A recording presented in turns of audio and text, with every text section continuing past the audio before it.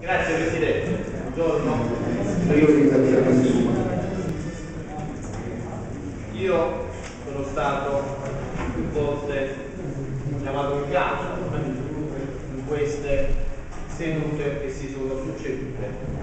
Quindi per amore della verità è opportuno da parte mia fare qualche precisazione. Se si può avvicinare al microfono, penso sia importante che le sue dichiarazioni vengano registrate.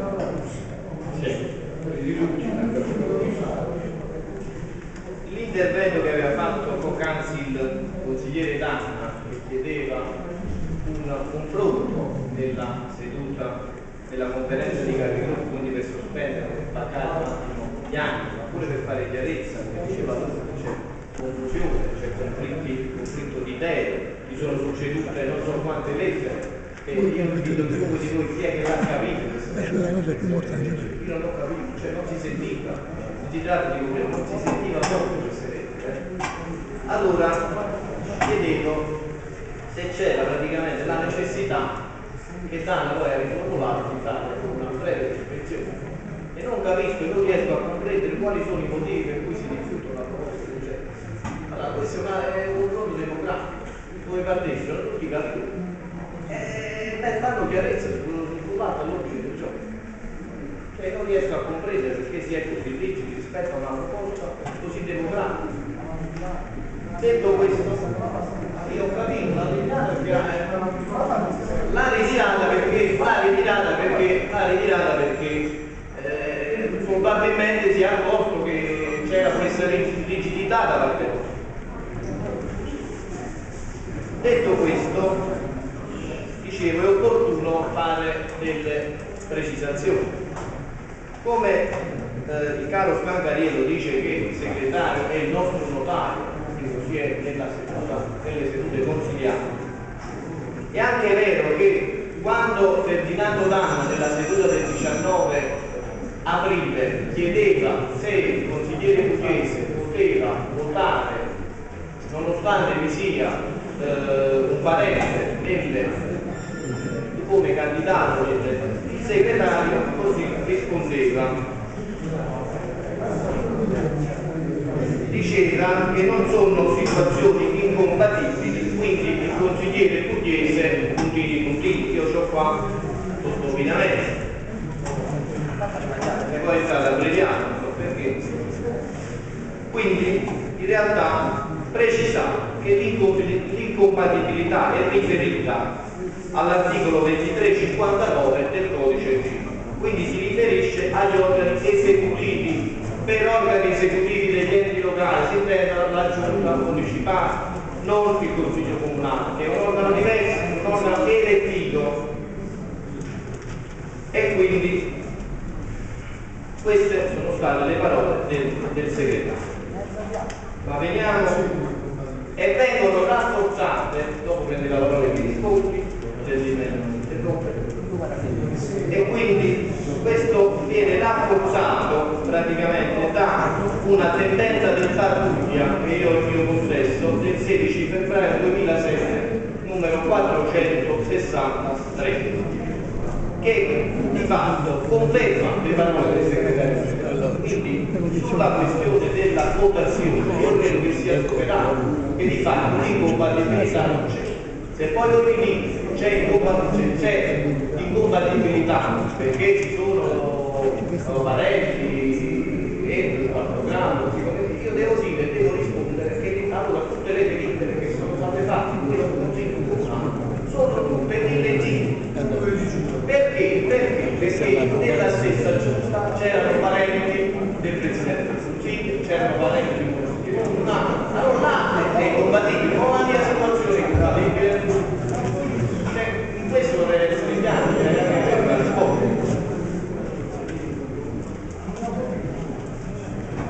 E eleganza non guasta.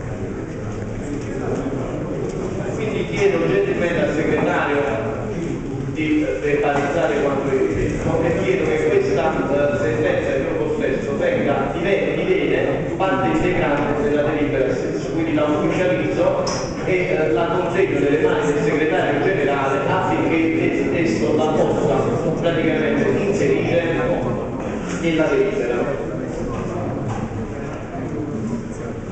Ha finito, signor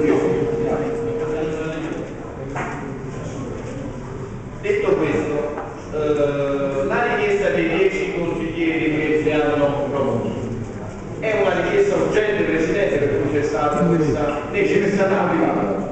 Prego? Così mi è stata motivata. E lei ha ritenuto che eh, la Sì. sua discrezionalità ritenuto che E lo spiego prima, lei si del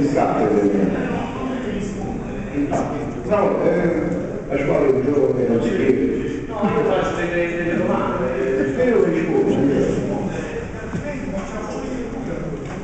Ha ragione, alla fine della risposta, se lo vedi, ha ragione il consigliere. Grazie. Anche, anche tu qualche ragione. Passiamo a quell'altro tassello che diciamo hanno sollevato gli iscriventi, cioè il fatto del numero legale.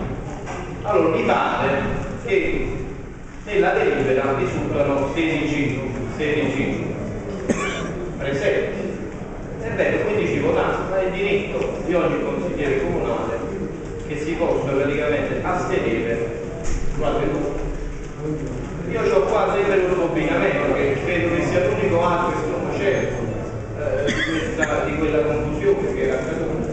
Atto certo quello che resta alla legislazione. E così non è. Ad un certo punto entra il consigliere Ludovico, attestando 16 presenti. Consigliere Russo, parla il presi- vicepresidente Bassimo che allora presiedeva la sede. Consigliere Russo, però noi abbiamo anche nominato la commissione elettorale, procedo all'appello per la votazione. Intervento fuori microfono che chiedeva la parola. Guardi, eh, consigliere siamo in una procedura di voto. Ludovico, io procedo alla votazione. Ludovico, siamo nella fase successiva, al limite la può fare dopo. Questa legislazione attesta che erano 16 i presenti e nessuno in quest'aula credo che lo possa smotivare.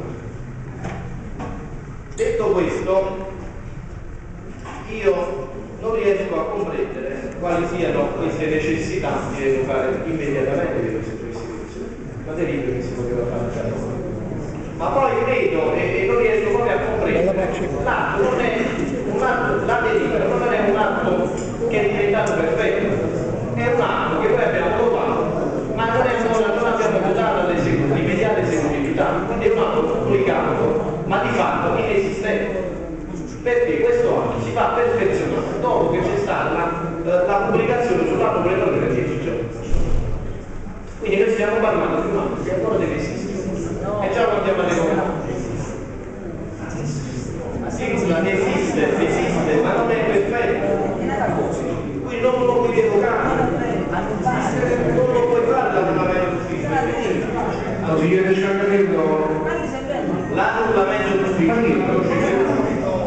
la procedura dell'annullamento d'ufficio è un provvedimento amministrativo di secondo grado con il quale ritirato l'efficacia delle retroattive eccetera eccetera. La su- il suo ritiro perché avviene? Perché è adottato in violazione della legge e io ho confermato poc'anzi che non c'è stato. Ho viziato l'eccesso di potere che neanche c'è.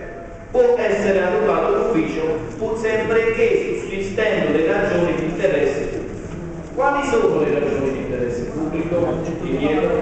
Quali sono? Non lo so.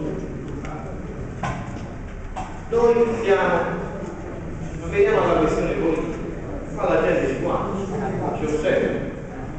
Noi ci ritiriamo provvedimenti di- dei revisori dei conti che mentre ci sono altri problemi là dobbiamo, noi facciamo tre consigli comunali sulla direzione, sulla regola dei revisori dei conti che neanche hanno il potere per votare il bilancio per emettere qualche parere perché non hanno potere pure se le votiamo le votiamo le votiamo quindi sono solo tanti italiani che la Corte dei Conti prima o poi emetterà qualche sentenza